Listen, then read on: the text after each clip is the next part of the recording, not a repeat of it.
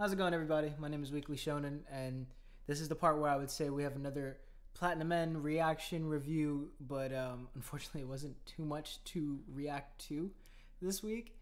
Uh, I mean, there were a couple of really uh, lively moments, I would say. Why are you working out naked, bro? But just not a lot of, um, it's not a lot of footage to really cut down. Like I'm, I'm looking at here like four minutes of, and I haven't really you know, gone into to getting rid of Dead Space yet. So I'll just give some of my thoughts of what I thought about this episode, or my thoughts on this episode. Sorry, I haven't done an actual review on an episode in so long, so I guess I'm just rusty. That's my excuse for not preparing a script. So, yeah, just a couple of things.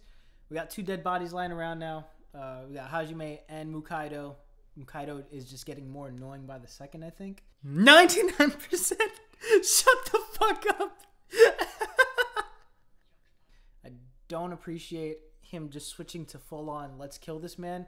You know, he's always been that way, but he hasn't been annoying and now it seems like anytime he chimes in and now even a little bit of Saki now, like like towards the end of the episode, it's just like they're like the peanut gallery. I don't appreciate anything that they have to add to the conversation. I don't feel like they're actually adding anything to the conversation.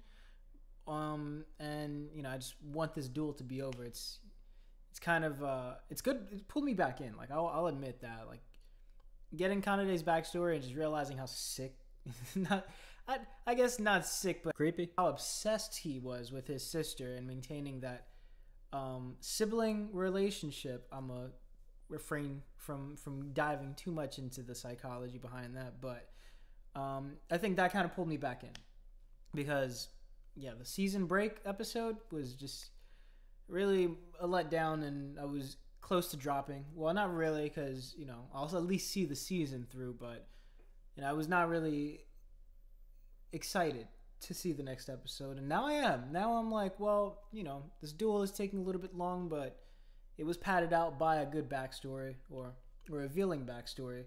Oh, so bad! That's so bad. There's no way to bring him back. This guy sucks. So you want to create a world with just wealthy people, but you still want slavery. All right.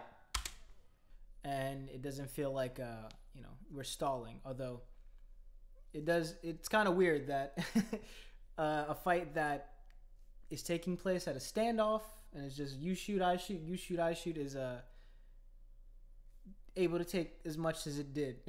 and it seems like it's almost over, which is cool. I'm appreciative of that. I want to see what happens next because we do have 12 more episodes to go, and I don't know how Kanade is gonna, how anyone of these two are gonna escape the situation. And I won't go too crazy trying to predict it, but um, yeah, it was good to see. I, I really did appreciate this episode. Um, I'm not gonna be watching this one anytime soon. I don't think I need to dive into the psychology behind this uh, sibling bond that Kanade was trying to preserve, but at least hey, we got a, a, a confirmation on on how or a reveal on how he was approached by Meyza. We now understand, you know, she's filling his head with sweet nothings, and you know maybe there is a way to turn his sister into an angel, and that's the reason why he's preserving her body. But I'm pretty sure like angels would would he really need to preserve her body for that? Because we saw Hajime come out as his original self, so you know, I don't I don't get that. I don't get that at all. Maybe that'll be explained, or maybe it'll just be revealed later on that that was not necessary. Or Meyza never told him at all that he needed to preserve her body, and that's just his own sick thing to do. Um, because he was already doing it before she popped up. So yeah, Kanade, big old, big old disgusting bag of shit, and you know, I'm I'm fine with seeing him die.